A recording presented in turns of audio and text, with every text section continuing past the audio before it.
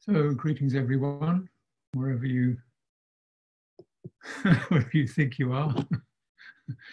this crazy virtual reality.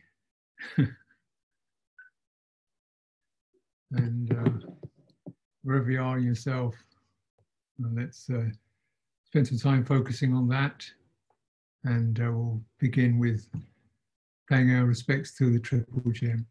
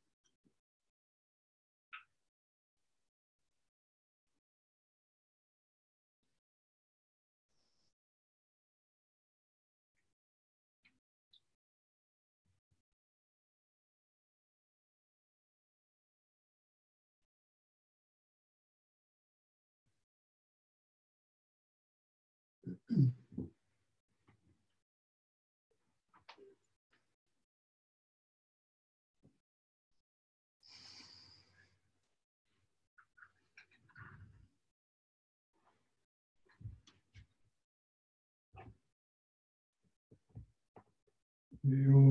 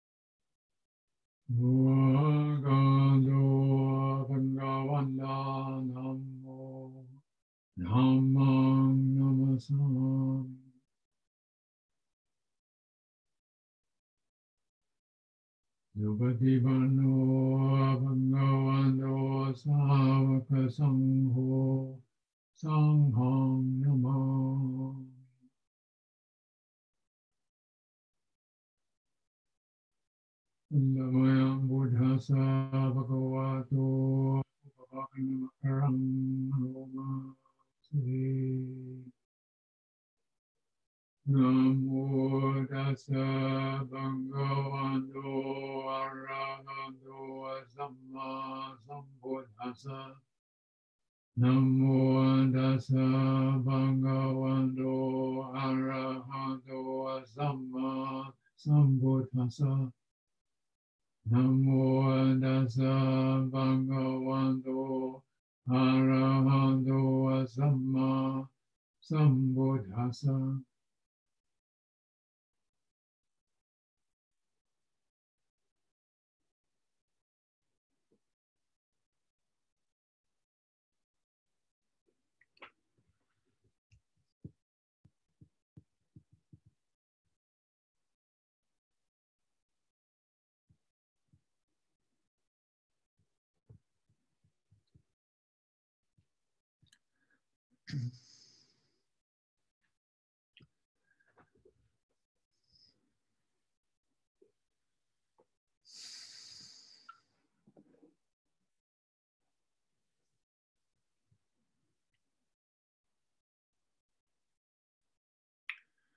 So let's spend some time collecting ourselves. I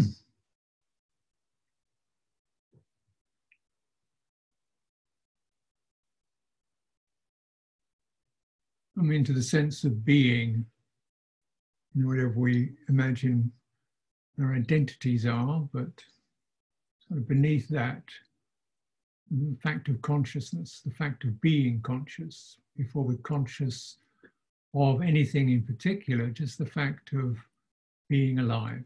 Yeah, and really, you know, focusing on that being conscious, chitta quality, mm, and uh, just reducing engagement with what we're conscious of thoughts, sounds, sights, possibles, emotions, moods, just noticing, but pausing on running any energy down those channels and realizing your energy can collect instead into this sense of being conscious, being aware.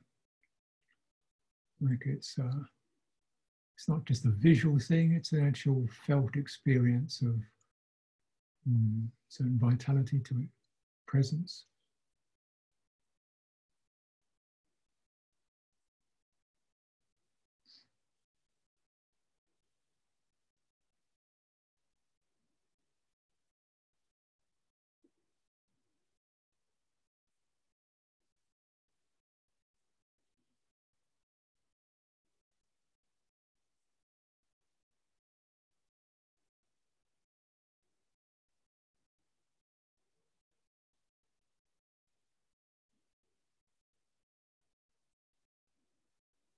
Bringing the power of attention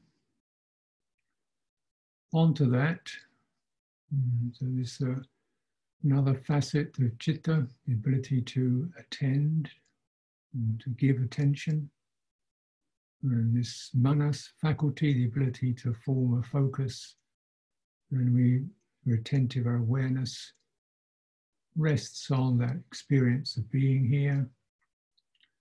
The more you linger in that, more that tends to brighten, become more strong, evident. Doesn't say anything, doesn't do anything. Presence.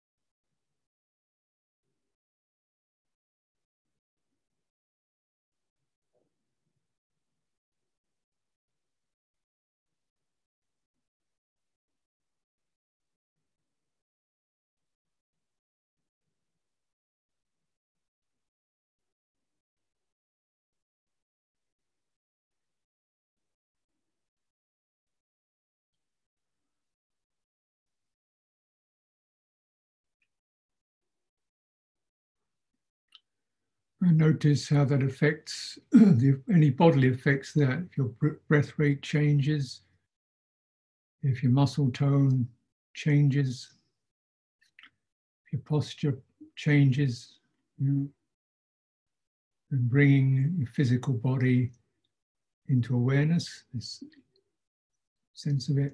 So, how is this affecting the physical body? Does it affect the physical body? Skin, nerves, posture, vitality. The overall sense of the shape that you have right now, seen directly, not inferred or imagined or remembered, but experienced directly. Can you describe any kind of shape to that? Maybe doesn't have a shape. Texture.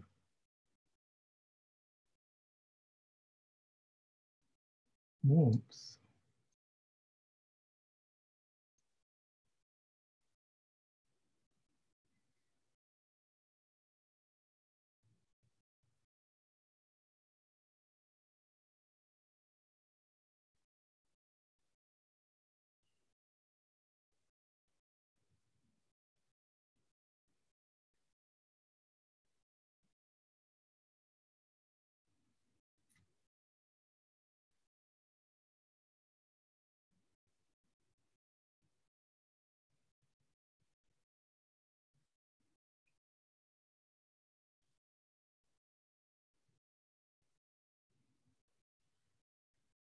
Turning the tracks of one's normal preoccupations or thought patterns.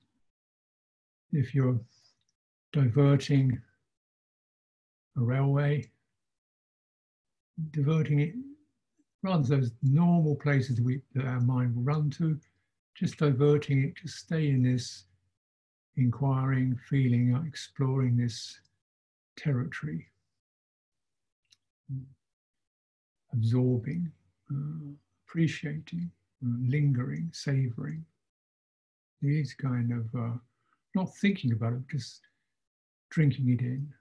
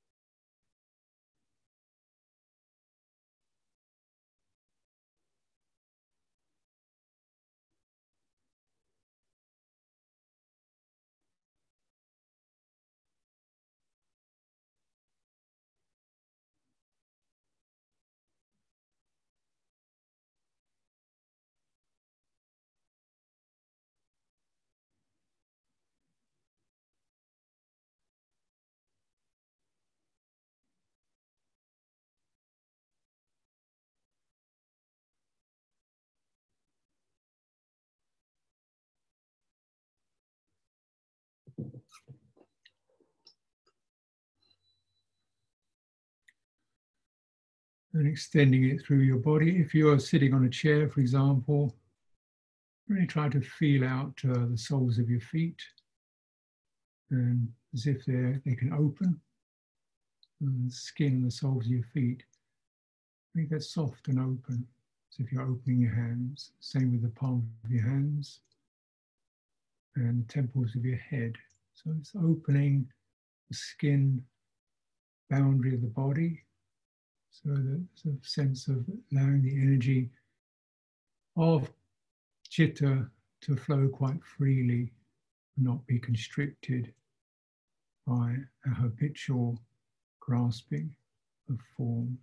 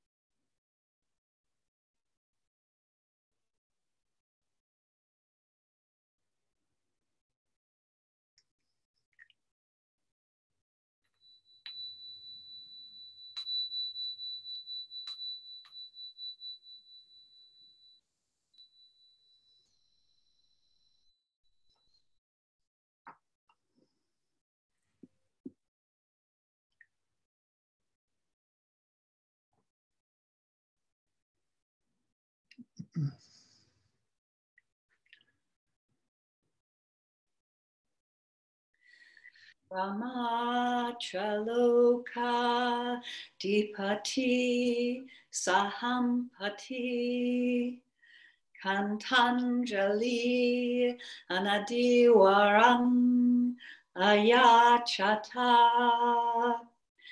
Santida Sata Parajakajatika Dese tu damam anukampimam pajam.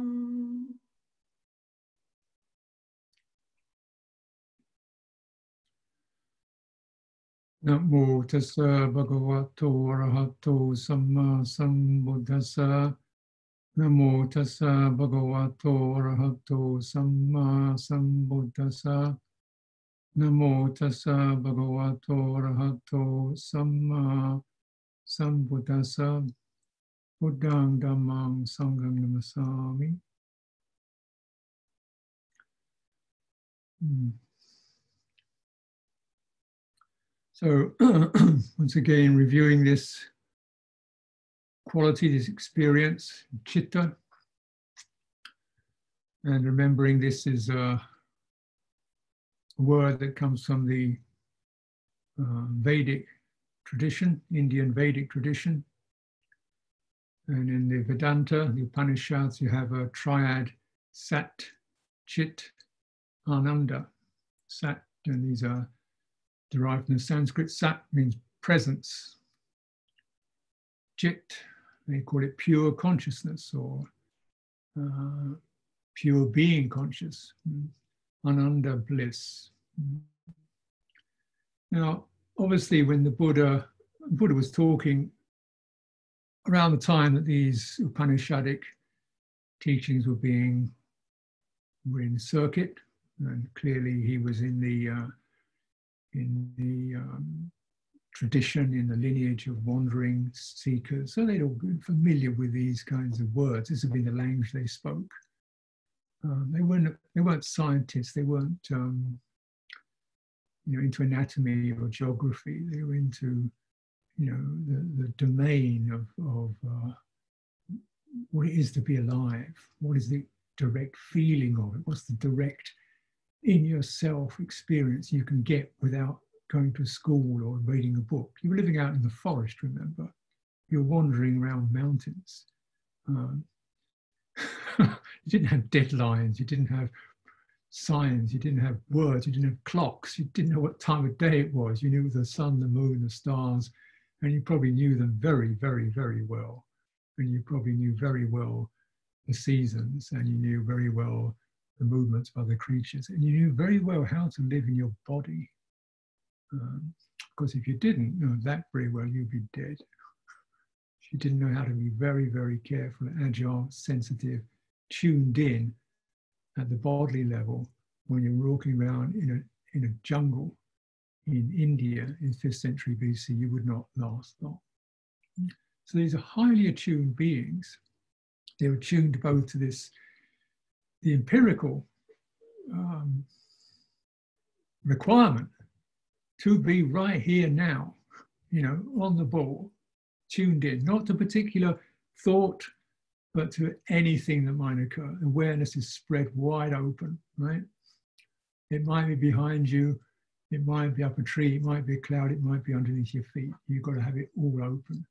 You're not focusing on any particular topic, you're focusing on everything. and you can do this. You know, we've got so used to the abstract reality where we focus on a word, pop, pop, pop, pop, pop, pop, or a clock, these pinpoints, that we think focus is always like this, you know. you can't focus like that in the jungle because you can't even see that. You have to focus like that. And what are you? If there's any focus, it's a focus on what is my nervous reaction? Am I careless? Am I frightened? Am I, yeah, really attuned to whether you're alert, where, what kind of mind state is affecting you, because that could have a radical effect upon whether you're careful or not. If you're reckless, impatient, caught up with anger, you could blunder around and do yourself harm. So you're very attuned to how, what kind of mind states are arising in this context. Hmm. You're not searching for one, you're searching for how do these occur? What are the skillful ones? What are the unskillful ones? There's a recognition that this process can be purified. Yeah? So there is just this pure being conscious, chit. There's just pure being, sat. And that is a blissful state, ananda, sat chit ananda. Now, this is the background, you might say. Um, so this is what 2,500, 2,600 years ago. Come a long way in some respects. Society's moved along. We're now very abstract. Words, ideas, tomorrows, calendars, dates, journals, programs, plans, agendas, economic facts, budget decline, income tax. This, where is this stuff? you know, all kinds of nationalities. What, what's that mean? You know, uh, boundaries on maps. We didn't have boundaries on maps in those times. We just we were just people, right? We live in this very, very abstracted world, and it's a source of intense focus. You know, national politics, economic power, uh, you know, getting things done at the right time, arriving somewhere punctually, not being late, making sure that your program is moving ahead to get to the good result in the future. This, where's that? Where's that? Yeah. Where it is, is generally stress, is where it is. so, and so the Buddha, he used all these terms, but he turned around the other another way. He said sat, rather than sat being being, sat is satya, in Pali. And what you need to know is this, the satya, the truth of suffering, whether you're living in that or not. if you can clear that, the sat, the satya, the presence, the, the apparent reality of a stressful world which impacts you, if you can see through that, this maze of constructions of future and past and what you think people think you think they think you want you don't want are you are you not? Are you welcome? Are you this? Are you this kind of stuff. You can see through that. This is the web of suffering. Get through that you arrive at the paramattha satya which is the satya to do with your highest welfare where these constructed realities fizzle out don't impact. Hmm. And Chit, in the, in Vedic thing, is the Vedanta is pure consciousness. The Buddha said, sometimes pure, sometimes not so pure, sometimes extremely impure. you know, it can be purified, uh, but it's it's like a, you know, it's like the power of an elephant. You know, a wild elephant is a really, really dangerous creature, but it can be incredibly powerful and useful. So yeah, it could be purified. Yeah. yeah. And uh, in the purification is rather ananda bliss, he said, is nibbana, which is the unbinding, the release, sublime peace and ease. So it's often a slight twist when the Buddha uses these terms. He's using the terms that are available at the time but he's often just angling them towards his own specific approach to uh, realization and to the fulfillment of the human condition. And he said there's definitely something in here that can be really fulfilled a trained, trained mind, the trained chitta, the true satya and the bliss of nibbana release. Now, so saying a lot of the problems with chitta is get so caught up in passion, in fear, in aversion, in beliefs, in ideas. It gets fixated, mesmerized by its own constructions.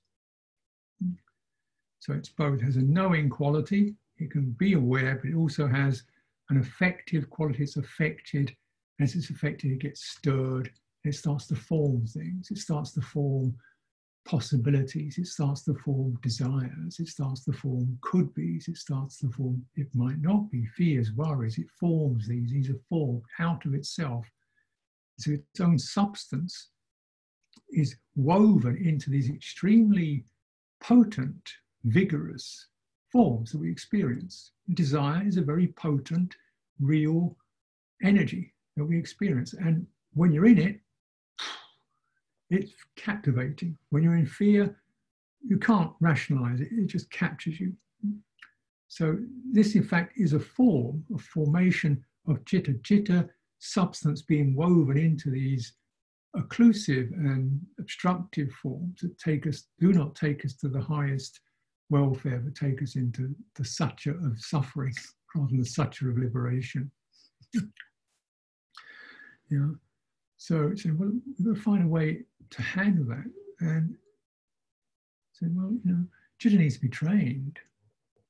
Now, many of the teachers at that time, as you probably remember, if you looked into some of your early Buddhist stuff, they were teaching these um, hypnagogic states. Well, okay, let's put it another way: states of formlessness, whereby you could get out of this body into somewhere else. You know, and that was so, so like mortify the body, get somewhere else. Um, because this body is caught up with uh, pain, suffering, death, need to eat. Um, so, you know, source of impurity and contamination. The Buddha did all he could with that, and he said, "Well, yeah, it doesn't seem to go somewhere, you know, that's finally resolved. So let's come back into this and not take up an assumption about the body. It's, you know, but just experience it not as I see it from the outside, but how it experiences itself and getting to the real basis of it. And we within this, we begin to experience within this very body, there are, there do arise these pains and aches, but if you sink, put your attention deeper within that, there's a sense of being a sense of presence. Mm. And if your awareness comes into that, that sense of presence becomes more strong, luminous, peaceful. Mm. And it's not the presence of aches and pains, it's not the presence of physical circumstances, a somatic presence. This means an inner presence of the body itself being a sense organ, just like uh, the mind very similar to the mind actually. Like the mind can know things, it can know ideas, and it can also just be knowing. Similarly, the body can feel touch, sight, touch, painful touch, pleasant touch. It also just be feeling, sensitive. So the body and the mind, in this sense, are very similar, compatible. And so, actually, this is quite crucial when you get an understanding of chitta. It is very, in its, in its, in its energetic aspect, it is pretty much the same as or strongly associated with the somatic sense. Uh, you know. And so the Buddha says, well, if, if you're just bringing awareness to that, you can, through that, you can begin to distance yourself from the abstractions of the mind. There's no future in this. There's no past in this. There's no identity in the sense of being present. There's no nationality in it. There's no better or worse about it. There's no could be, should be about it. There's no, none that's there. This is a very peaceful place to be. Why not bring my attention to this, dwell in this, and feel the energy of breathing in and out as it comes up through this begins to spread energy through the entire form. Then the chitta is contained within a direct somatic experience rather than running out into the world of its own creations. So this is, and this of course can get very agreeable. and as we say, descriptions of samadhi, one makes the rapture and pleasure born of seclusion drench, steep, fill, and pervade this body.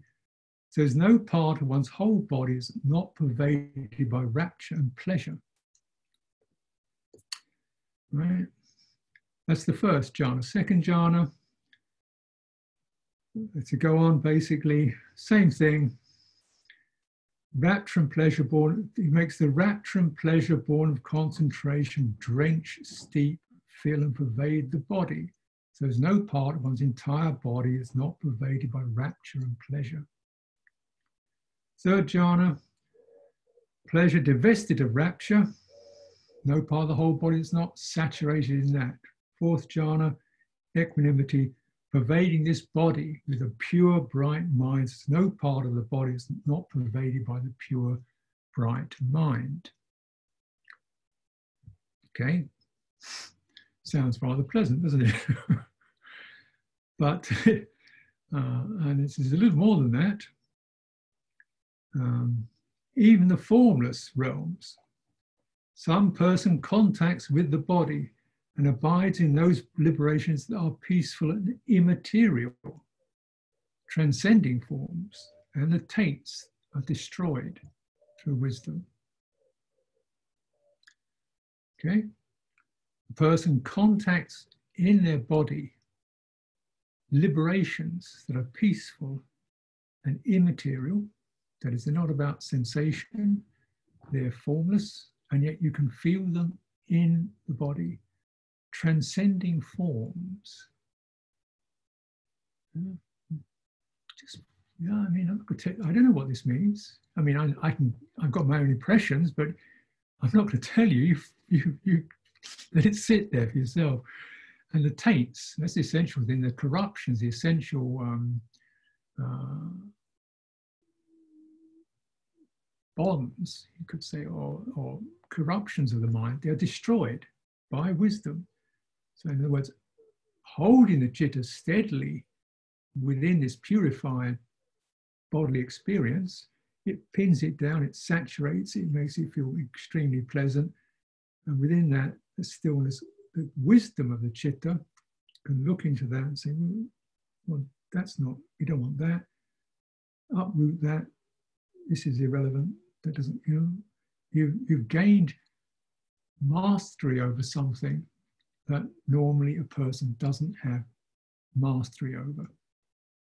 As you know, we are all get, get we have our compulsive reactions. We jump, we get frightened, we get annoyed, we get angry, yeah, we get excited, we get depressed, and you think, oh dear, why did I do that? Why did I do that? Yeah, and you, because you, you just reactivity, and you you can't do anything about it. Well, Buddha saying you can. Because that reaction, it didn't come from, it wasn't a deliberate idea, it just jumped in your nervous system. Now, when you're cultivating chitta in terms of body, you're getting right into the basic foundation of your reactivity. And you can just, you can check it, you can cool it, you can soothe it, you can ease it, you can release it, and you can eventually disband the fundamental ignorance and craving that planted it there through wisdom. So this is how it works. And as it said, even having touched with one's body the deathless, this is it, Itivuttaka 52. So the deathless itself is touched with the body. Having touched with the body the deathless property free from acquisitions, having realized the relinquishing of acquisitions, free from the asava, the taints, the corruptions, the rightly self awakened one teaches the state with no sorrow and no dust. Having touched the body with the deathless, having touched the deathless property in one's own body. So, we're not abandoning but we're not looking at a body in terms of ears and knees and teeth. We're looking at some fundamental property that we all know, um, uh, the sense of being here. And this, which can be murky or not even really considered much at all, because it doesn't do anything. Uh, it's got, no, it's not attractive, it's not brilliant, it's not intelligent, it's not anything that worldly values don't accrue there. It's going through that. Because precisely because of that, because this is where the worldly values don't accrue, they don't count. And you go, what a weight, what a burden off the mind. You know, you're not old, you're not young, you're not female, you're not male, you're not, you're just presence.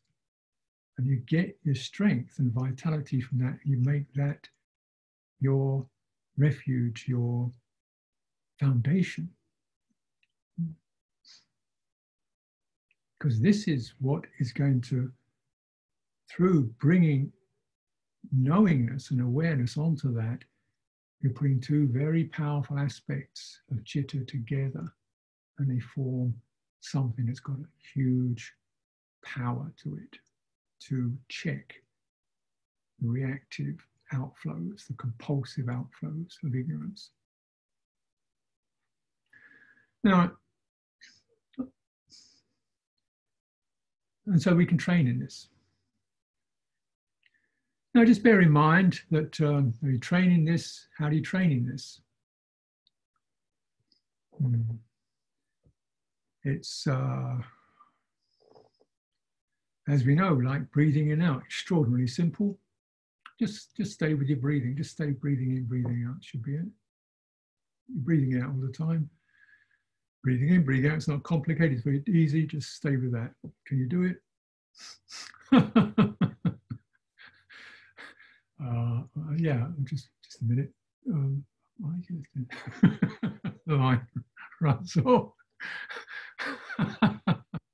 uh-oh, something, something's up here. I want to do it. I think it's a great idea. It's very simple. I can't do it. Uh, wait, yeah, what, why is that? Certain habitual habits have established themselves. And these habits uh, are the, you might say, these are the, the hurdles that we have to, or the locks, the fetters that we have to undo. They're not just things like ill will or lust or something like that. These are just also, these are can be certainly flowing, but even more tenacious than that is the construction of various dimensions and levels that we call myself.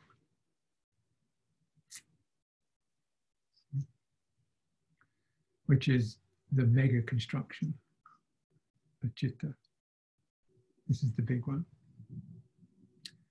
This is the one I believe in. This is the one I return to time and time again. My chitta returns to that. It, it weeps there. It exalts there. It plans from there.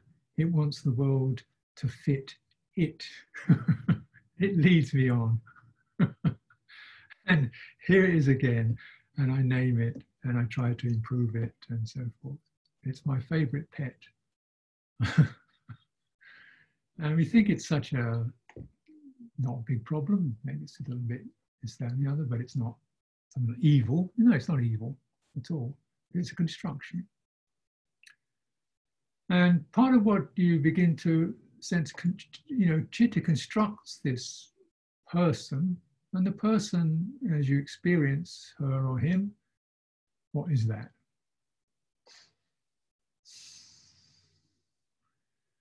It's generally a, psycho- a series of psychologies. It's to do with um, what I own, yeah, the feeling of owning something. That's mine. The feeling of being able to make something happen. I can do that. I want to do that, I can do it. If I can't do it, I want to do it, I feel annoyed. I want control. I want to be able to do what I want to do, you know, with its at my own speed. So it has sense, it, it claims control, it claims ownership. And it tends to also say everything that occurs in this mind is me. Right? Anything immaterial that occurs in my in awareness, that's me. A thought, that's me. An emotion, that's mine. Uh, crazy thought, that's me going crazy. Wonderful idea, that's mine, my wonderful idea. Um, a strange mood, that's me. I'm going, feeling very strange right now. It identifies with a whole set of experiences. Um, and uh, you know, so if they're yours, can you sort of um, could you say, well, I'll have this one and not that one? I'll only have the sensible ideas and not the crazy ones. Can you say, well, I'll, I'll now I'll stop thinking. And now I remember what happened last April. You don't have much say over that, do you? And how much of your mental content is really to do with what you've read, heard, been told, been trained to experience, what you've picked up from other people, what you've acquired, you know, essentially acquired dispositions, and a very, because we all live in slightly different circumstances, there's a certain uniqueness about what I've acquired, my memories, uh, my um, dispositions, what I've been living with. You know, I've been to monasteries, Buddhism, monks, robes, training rules, my mind tends to operate around those because that's what it's been saturated. It's not mine, but it's been saturated in that particular domain. And so therefore I can that I can think, am I a good monk, not a good monk, the greatest monk, the worst monk, middling, this, that, and the other, identifying with notions based upon scenarios that never were mine in the first place. I never was a monk, good one or a bad one, or anything really. But this sense of self identifies with and often takes a stand upon particular notions, ideas, and wishes. I, this is the way I see it, that is right. My idea is this, it's a good idea, I believe in it, that's right. And therefore, if you disagree with it, well, you know, you either haven't got it right or whatever, conflict. So, but you're not an idea. You don't have an idea. An idea happens to you, to your mind, because of circumstances. A mood happens to your mind because of circumstances same as everybody. There are particular things that only Malaysian people have that other people don't have. Everybody gets the same deal, basically, with different bits of language thrown on it. you know, we didn't get a particular more anguish in Britain than in Japan. Or, no, no, it's the same. Uh, so this sense of self also means that I will now do what's necessary for liberation. I will work it out as an idea. I will get my idea how to do it. So it's okay, right, good, good, good. Well, now you focus on your breathing. Mm-hmm. Can't do it, can you? you get rid of your bad thoughts. You deal with your discordant emotions. You make yourself feel happy and calm. Personality can't, can't do it. It struggles, it tries. Only thing it can suppress things, maybe ignore things, and seek to focus on something that will make it more agreeable. Now, this personality form is a set of mental energies that are based upon acquiring, owning, controlling, and localizing. This is me in here, everything else out there. You know, I end at the end of this skin bag, everything else out there. It doesn't quite work like that because we recognize, oh, well, yeah, I, and I also, that's my dog. So my psychology has a territory that roams around, deciding which bits are mine and my concerns. Yeah. So it's got, it's got its boundaries, but in that it owns that and it claims that belongs to it. Yeah. Yeah. So even my football team, you know, they let me down. My team let me down. they were mine and they should have won and they didn't. Yeah. So we can extend it and it claims ownership and because of the control and because of it can't maintain that ownership and control, it gets unhappy. Now, these, this is not an ident- not this is not a fixed thing. This is a series of programs and energies that run that Chitta creates to acquire, to own, to control, to create a boundary, self boundary. The boundary is very permeable, very permeable. Mm-hmm. We try to maintain it sometimes, we try to extend it, get other people inside it, push people out of it. It's very permeable, doesn't work. We try to control things, doesn't work. We try to own things, doesn't work. So we try harder, doesn't work. Mm-hmm. Now, there's nothing wrong with you. It's just these are the programs. And saying actually, rather than get annoyed with yourself or judge yourself or think about it, try to feel what happens in your body when you get any of those programs happening, when you get the this belongs to me experience and you feel yourself threatened when something's being taken away. Do you feel the fear or the threat? Yeah. Your boundaries being broken? Hmm. Control? You feel rigid when you get a lot of control? Do you go into a group and try to control, make sure everybody else does it the way you do it?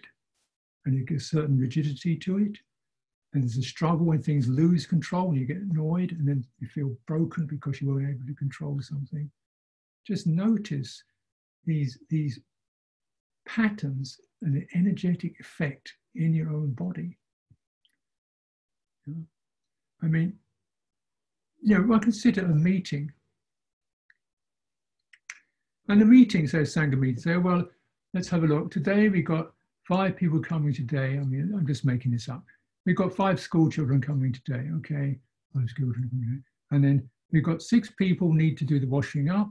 And there'll also be a building supply coming, so we need three men to go and unload that. And tomorrow we're planning that Luang Por so-and-so is coming down for a visit. And next week we're going to plan for the Katina. We're doing the Katina that's coming up. And we need to remember that, um, you know, the uh, sister so-and-so is not feeling so well, so we need to cover for her. And they said all this, and you're thinking, oh my God, I feel overwhelmed. There's all this stuff going on. I can't manage it.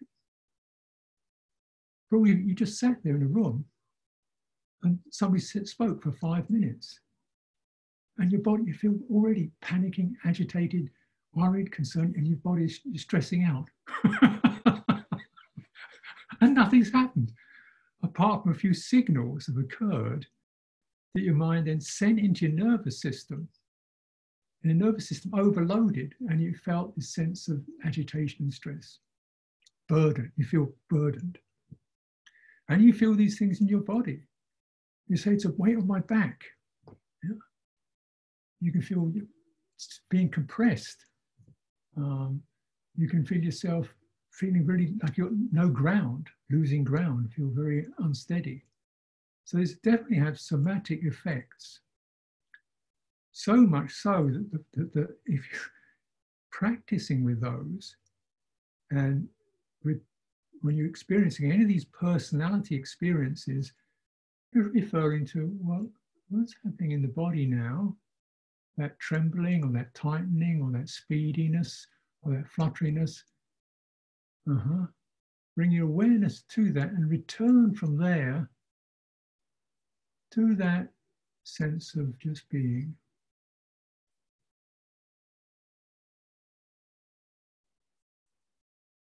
Very important then to spend time really knowing that sense of just being present so you can navigate or return from your personality structure the energies, the nervous, somatic energies of that return back to this embodied presence, and you feel the desire and the fear and the agitation just start to, as it enters the refuge territory, it deconstructs. It deconstructs, and then you, oh, that was just an idea in my head. Nothing's happening. Here we are. Tomorrow is tomorrow. Who knows what that is? I'm breathing in and out. Nobody's bothering me. What was all that about?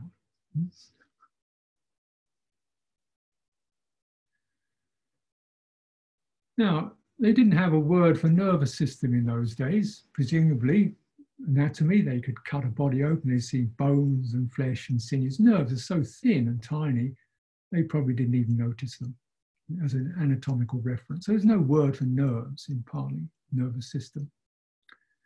But they knew that something was happening. And this is called sankara. They knew the, the they knew the, the the experience of it. They didn't know the particular structures that in the body that that you know that ran through. But can you imagine? Like, is there any part of your body that you couldn't you, could put a pin in, it wouldn't feel something. I, I probably I would imagine there's nowhere in your body, a normal body that doesn't feel something. That's how much there is there, right? It's like a, a woven shirt, a woven suit that covers your entire form. More, even more than that, you have another aspect of the nervous system which just to do with feeling balanced, comfortable. It's called parasympathetic.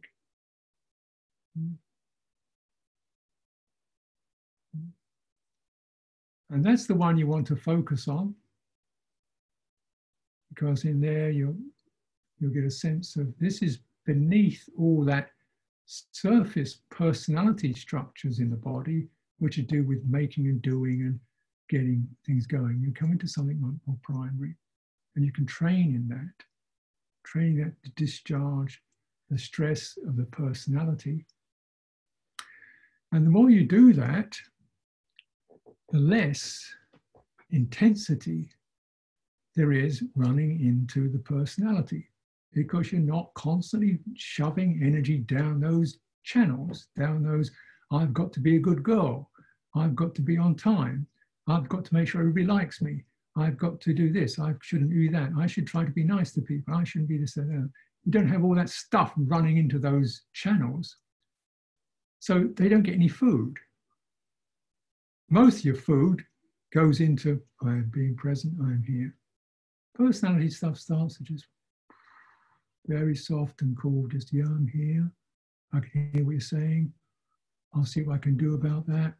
Yeah, yeah, as long as it's got ethics to it, that's fine with me. You know, no personal, no personality issues about appearance, no compulsiveness. That can be realized. That can be realized in your own body. Uh, you don't get knocked around.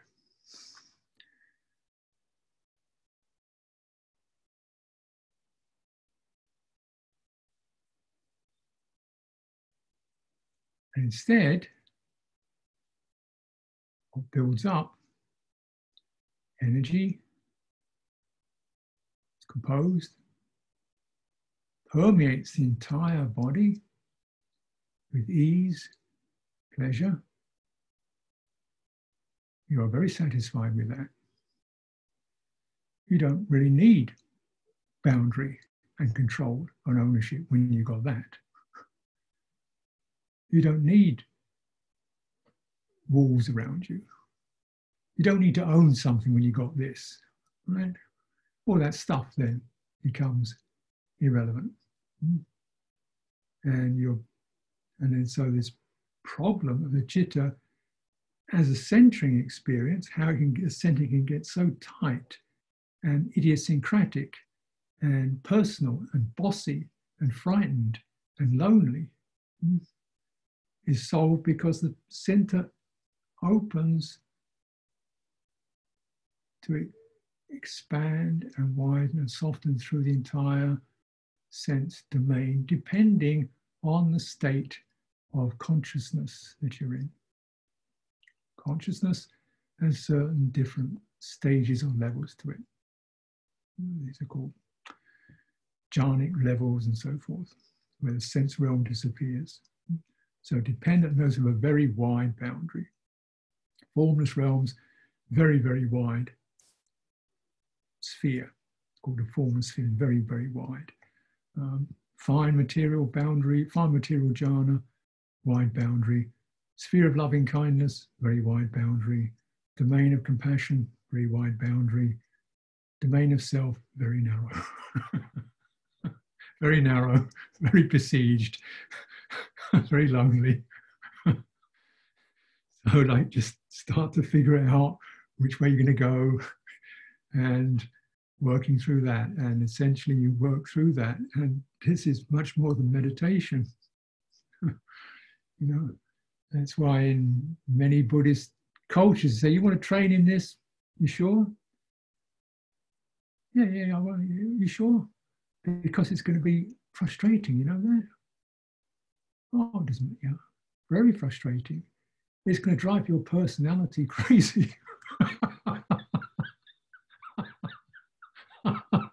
because you have to do things you don't feel like doing at the time you don't want to do it. It don't make sense to you, but you just do it. And the things you really think are important have to be done. Well, we might do that next week. You have to wait a while because we can't get it done right now. But, but, but. And the things you want to be with, oh, well, that's going. And the things you don't want to be with, well, that's coming. So what happens is the desire lines of your personality are continually frustrated. in a monastic life, you can't eat something unless somebody gives it to you. So you maybe go by the kitchen and think, oh, that's, that looks nice. Mm, one of those. That'd be nice. And they don't give it to you. But, but you can't ask for it uh, and stuff happens. So uh, very often in our practice, a lot of it is just this sense of relinquishing the boundaries, relinquishing the control systems, relinquishing the ownership systems, not relinquishing ethics by no means. Ethics, kindness, absolutely, and yet ownership, control, personal boundaries in terms of who you share space with, sorry, that's going to get that's going to get adjusted. That's going to get you have to give that up. Can you do it? You can. It just hurts a bit. But that's the price. That's the price. It doesn't cost any money. It just costs your personality. yeah. But then, of course, he's saying, yeah, but this is the way to the deep happiness, the sublime peace, the ease, the deathless. It's worth it. It's worth it. Up to you. Mm. Train, train the chitta. Take a little bit, let go a little bit. Feel the strength, let go a little bit more. Get used to that, strengthen up in that, let go a little bit more. Slowly, slowly, you train the elephant to come into its true strength and to leave the crazy world.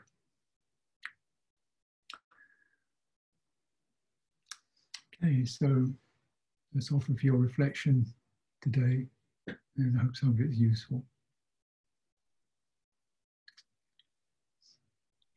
Handamayanda Dhamma Kataya Sadhu Karanda Dhamma Se Sadhu Sadhu Sadhu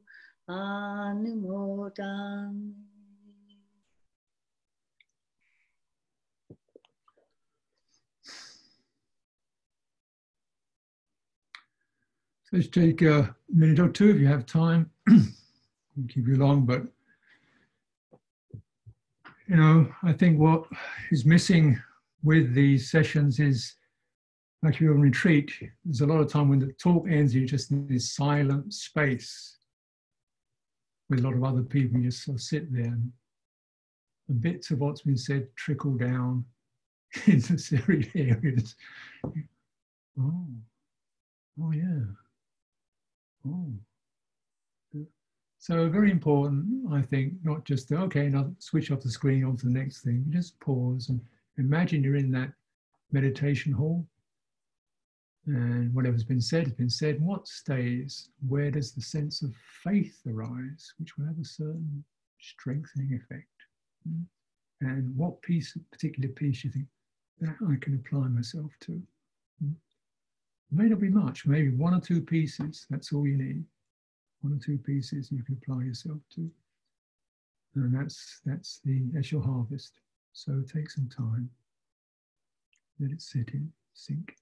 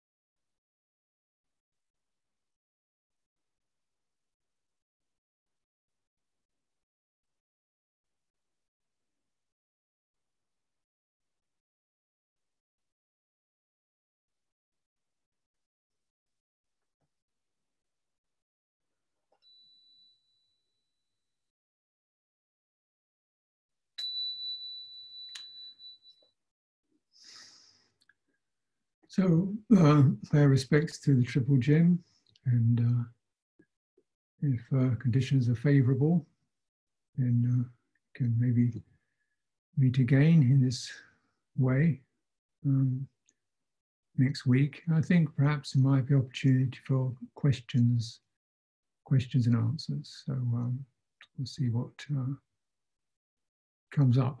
I probably won't be able to answer all of them, but I'll be able to look at a few and see what seems to be most general general use.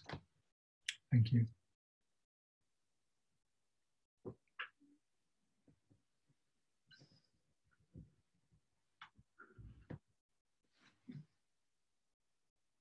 Supatipanno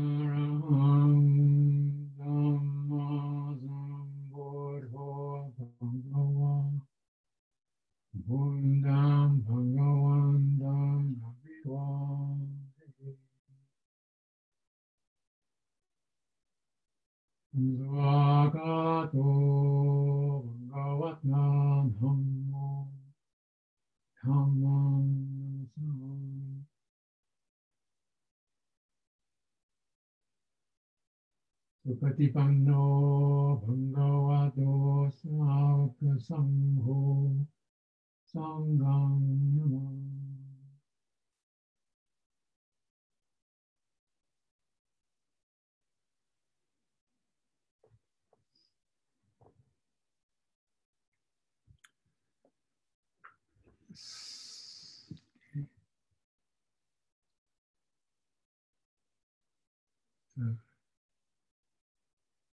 Care. Bye for now.